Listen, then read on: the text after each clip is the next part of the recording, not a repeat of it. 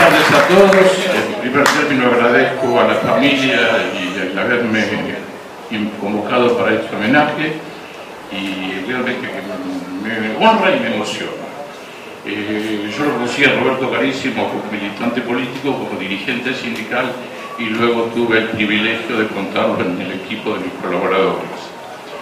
Y después terminada la gestión, formamos un grupo de WhatsApp, porque a pesar de que somos grandes nos ayornamos, y entre un grupo de, de,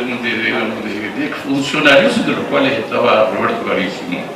Y cuando tuvimos la triste noticia de su fallecimiento, ya habíamos organizado una reunión de la que hacíamos periódicamente para hablar de política, para reflexionar sobre la realidad, también para comer algunas cosas y para tomar algún vino y nos encontró a mitad de camino. Pensamos en suspenderla y estuvo Gustavo Bocilá, que hoy me acompaña, y aparece en el grupo un mensaje de Ezequiel a través del teléfono de Roberto. Eh, consultamos a Ezequiel, él dijo que él iba a ir a esa reunión, tuvimos el privilegio de contar con él, fue realmente una cosa muy emotiva, pero muy gratificante y nos pidió autorización para seguir con su teléfono y para seguir en el grupo. Es decir, que Roberto Carísimo sigue estando con nosotros a través de su hijo.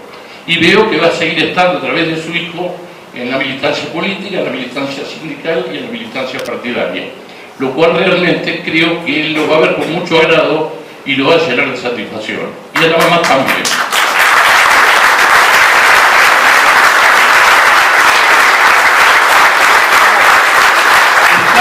Atravesando momentos difíciles en lo político y precisamente el jueves se cierra la lista de los, las autoridades, los candidatos a conducir partidariamente al peronismo en la provincia y en los distintos distritos. Este es un distrito que por estar gobernado por el peronismo tiene la cosa medianamente encaminada por la conducción de Martín, pero en otros distritos tenemos complicaciones y a nivel provincial veremos lo que pasa. Pero yo creo que el camino del peronismo es la unidad, la unidad para constituir un frente nacional y popular que nos permita encarar con posibilidades de éxito el evento electoral del 2019. Estos vienen por todo, vienen por los trabajadores, vienen por los jubilados, los derechos de los trabajadores los quieren retrotraer no al 17 de octubre del 45, al 4 de junio de 1943, que es cuando Perón comenzó a elaborar su proyecto político y creó la Secretaría de Trabajo y Previsión le rebajan los aranceles previsionales a las empresas, les rebajan los impuestos al capital concentrado, a costa de los trabajadores, a costa de los jubilados. Los jubilados el año que viene van a cobrar, como dijo el compañero, 150 mil millones de pesos menos, obviamente a costa de su salario. Y si lo analizan desde la óptica de un CEO que gana un par de cientos de miles de pesos por mes, mil pesos por mes pareciera que es una bicoca. Pero para el jubilado que cobra 7 u 8 mil pesos, que son, están rondando las jubilaciones, es una fortuna. Están haciendo con mucha más sutileza, pero con mucha más crueldad, lo que intentó hacer de la Rúa cuando redujo, rebajó el 13% los salarios. ¿Por qué se lo dijo de frente y lo hicieron así? Estos el año que viene van a bajar mucho más del 13% las jubilaciones la van a estar bajando de un 15 a un 18% promedio. Fíjense ustedes la magnitud del drama. Por eso el compañero fue exhaustivo y fue enfático en la cuestión.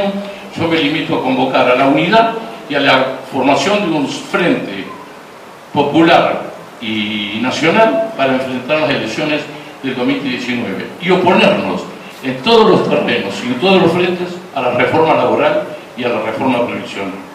Porque nos tratan de engañar con un par de eh, frases que pueden llegar a seducir. Por ejemplo, nadie puede estar en contra de que se blanquee el trabajo no registrado. Pero ¿cómo y a costa de quién?